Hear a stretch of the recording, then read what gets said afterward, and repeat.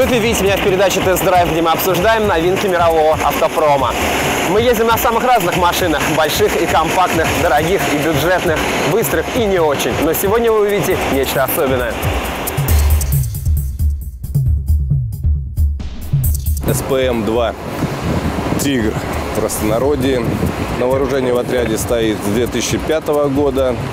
Предназначенная для доставки спецгрупп в особо опасные зоны. Броня на СПМ-2 пятого класса защиты. Ну, то есть это означает то, что эта броня держит автомат 7,62.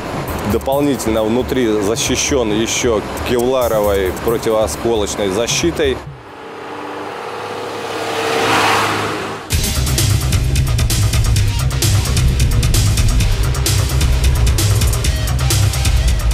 Мои права категории «Б» не позволяют мне управлять этим транспортным средством на дорогах общего пользования, ведь его масса почти вдвое превышает допустимые 3,5 тонны.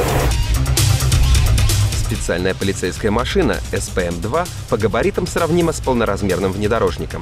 4 метра 61 сантиметров в длину, 2,20 в ширину и 2 метра в высоту. При массе в 7 тонн бронированный «Тигр» может разогнаться до 130 км в час. Под капотом турбодизельный двигатель с рабочим объемом почти 6 литров. Расход топлива при езде по шоссе составляет около 25 литров на 100 километров.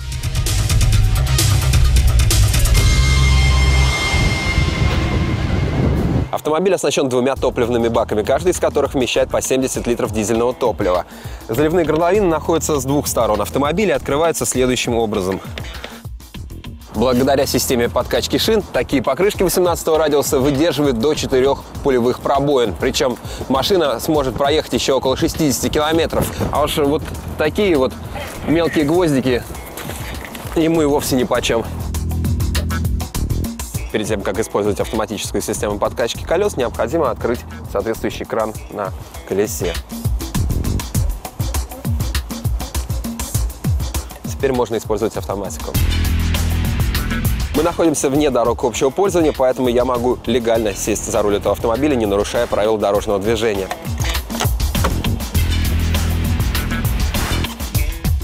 У водительского кресла есть две регулировки – вперед-назад и регулировка по высоте.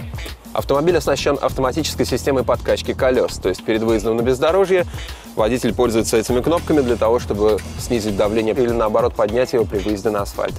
Среди средств, обеспечивающих комфорт, в автомобиле есть кондиционер и подогрев лобовых стекол. Стекла бронированные, поэтому и подогрев у них специальный. Водитель оперирует двумя рычагами трансмиссии. Это традиционный рычаг механической коробки передач, в которой в этом автомобиле 5 ступеней, и раздатка. Тяжелый. И в бронежилете вылезать, наверное, будет не так удобно, как в курточке.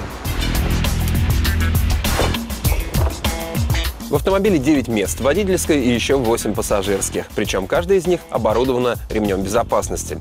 Когда я сижу на нем в куртке, места здесь вполне хватает. Но если бы на мне был бронежилет и амуниция, то пришлось бы потесниться.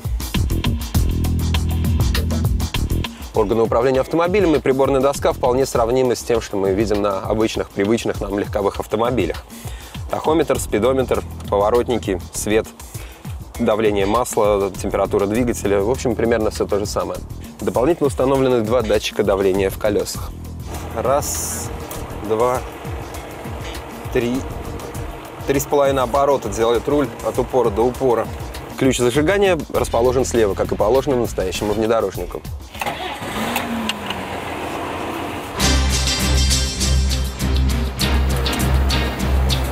Первая передача достаточно короткая.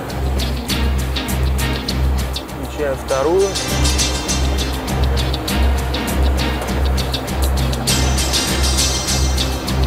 Может показаться странным, но в автомобиле достаточно хорошая плавность хода.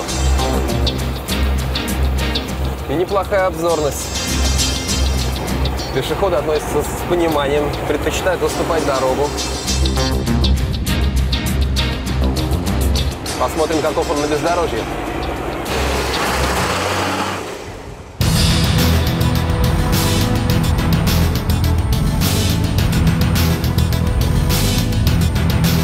Перед нами почти вспаханное поле с глиной, горками, снегом и остатками льда. Если подъезжаешь к такому на обычном внедорожнике, думаешь, ну что, пройду я здесь или нет? Тигр таких вопросов не вызывает.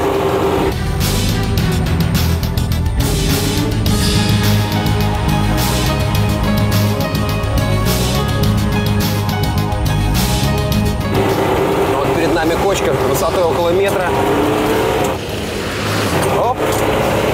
И мы уже ее проехали.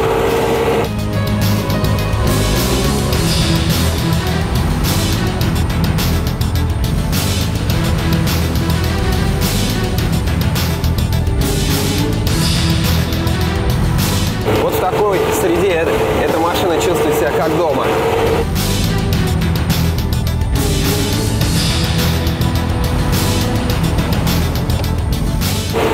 У этой машины 40 сантиметров, а глубина преодолеваемого брода более метра, метр двадцать.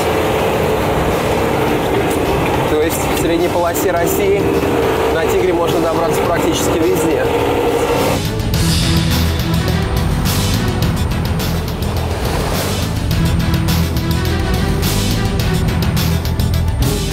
Ну что ж, за рулем Тигра любое бездорожье похоже на дорогу.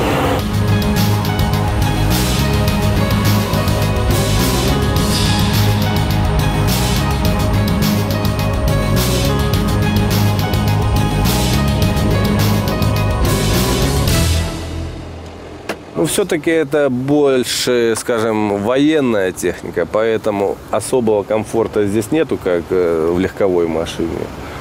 Главная задача, она, чтобы, скажем так, своей броней защищала людей. Я думаю, что эта машина с этой задачей справится.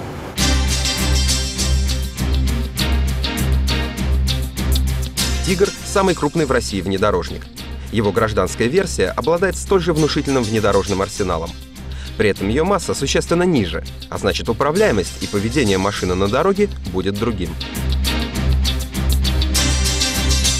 Знакомство со специальным полицейским автомобилем «Тигр» оставило яркие впечатления. Спасибо московскому ОМОНу. Теперь, при следующей возможности, мы протестируем гражданскую версию этого внедорожника.